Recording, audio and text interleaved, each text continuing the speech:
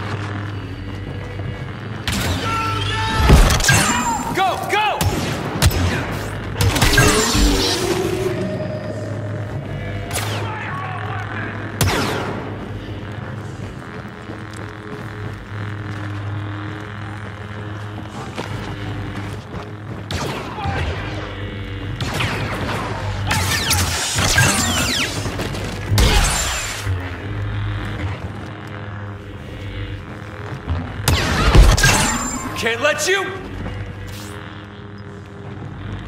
Your overconfidence is your weakness.